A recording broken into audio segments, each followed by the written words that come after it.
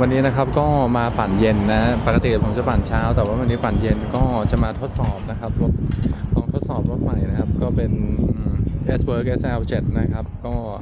มากับทีมพี่แอดนะครับ ปั่นช่วงเย็นวันนี้ก็จะไปลองกันเบาๆนะครับ ลองรถใหม่ ก็ถามว่าครั้งแรกผมจะรีวิวรถเลยไหมผมคงไม่นะครับ ก็ขอขอเวลานิดนึงในการคุ้นเคยกับรถนิดนึงนะครับ แล้วก็เดี๋ยวจะมาทำแบบ full review ให้ให้ได้เห็นกันนะ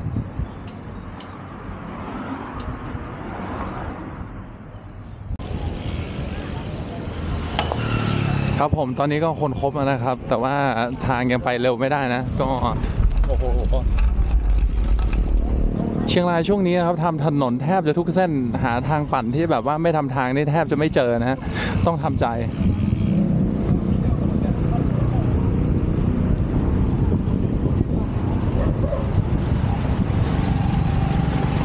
ปั่นเย็นนี่โอ้โหรถเยอะมากนะ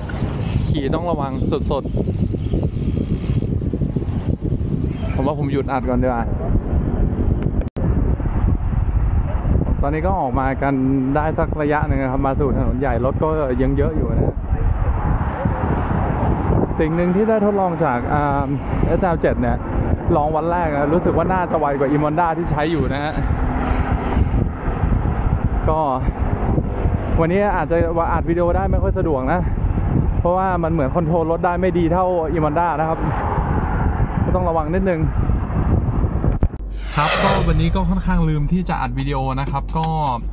บังเอิญว่าพอดีขึ้นมาถึงรถแล้วผมก็เพิ่งนึกได้ว่าต้องอัดวิดีโอนะครับ ก็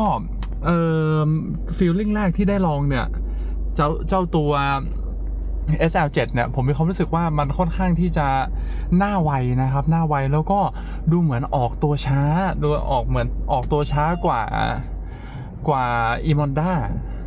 ผมก็คิดว่าเอ๊ะอย่างเงี้ยขึ้นเนินไม่ค่อยดี แต่เหลือเชื่อนะฮะว่าวันเนี้ยกลับขึ้นเนินได้แบบเออได้ดีมากอะ่ะก็เหลือเชื่อเดี๋ยวผมขอลองใช้เข้าใจกับรถอีกสักนิดนึงแล้วผมจะมารีวิวให้นะ ก็วันนี้ถามว่าทำไมถึงไม่ค่อยอัดวิดีโอ เพราะเนื่องจากว่าผมกลัวอ่าค่อนข้างกลัวเรื่องของอันตรายในการขี่ SL7 นะครับ เพราะว่าวันนี้ลมแรงแล้วก็ผมไม่ชินกับรถค่อนข้างที่จะหน้าไวนิดนึงครับ ก็เดี๋ยวยังไงเดี๋ยวเดี๋ยวข้างหน้า เดี๋ยวเรา มาพูดถึงรถ SL7 เจ้าตัว Tarmac S Work นี้กันดีกว่านะครับ ผมเป็นไงวันนี้ขอลาครับผมก็อัปเดตเมื่อวานนิดนึงนะครับ ที่ไปปั่นมาที่บอกว่าหน้าไวเนี่ยผมทราบสาเหตุแล้วเมื่อว่าอ่าเจ้าตัว S Work SL7 เนี่ยของผมเนี่ยอพอดีว่าที่ผมใช้เนี่ยมันมันไซส์มันเล็ก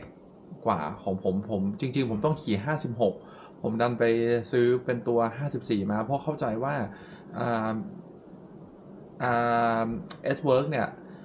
54 จะเทียบเท่ากับ Trek 56 แต่จริงๆเนี่ยณปัจจุบันเนี่ย มันเทียบ มัน มัน geometry เนี่ย มันค่อนข้างใกล้เคียงกันมาก ๆ นะครับ ผมก็เลยอ ก็เลยอันนี้อาจจะเป็นสาเหตุในการที่ว่ามันหน้าไวนะครับ ก็ก็มาอัปเดตกันเท่านี้นะครับ ผมเดี๋ยวไว้ไงเดี๋ยวรอดูใน full review นะครับเพิ่งขับครั้งเดียวมันก็รีวิวอะไรมากไม่ได้นะครับ